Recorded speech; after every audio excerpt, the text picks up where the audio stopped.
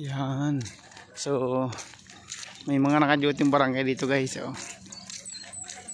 Para mapanatili yung kalinisan, kaayusan ng ah, pinangangalaga ang lawa dito sa barangay Kalumala. Ayan. Ayan ang mga sinabasti. Kasi may mga bawal na dito guys eh. Oo, may mga dayo din. Tingnan mo, maaga na kami. Meron mas maaga sa amin.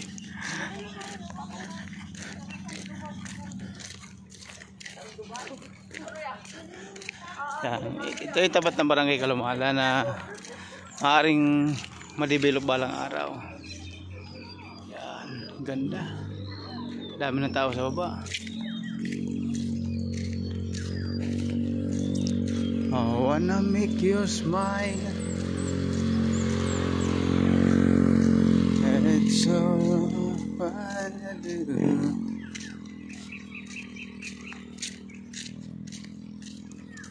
Dito dati may daan din ay wala na. Hindi na nilagyan ng hagdan. Oh, may daan yan dati. Hindi na nilagyan.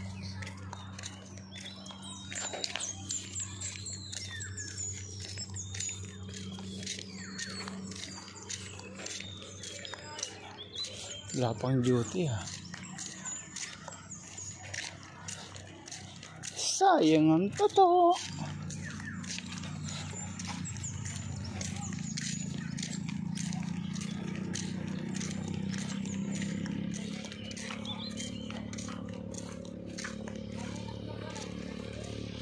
Yan.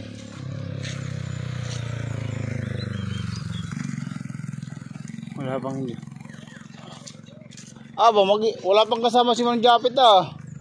Okay ba, papa? Iwanan ko na to. Iwanan ko na rin.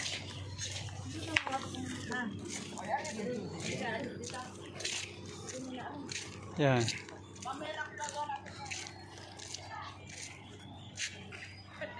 Bawal guys ang overnight dito. Bawal ang overnight. Really? Bawal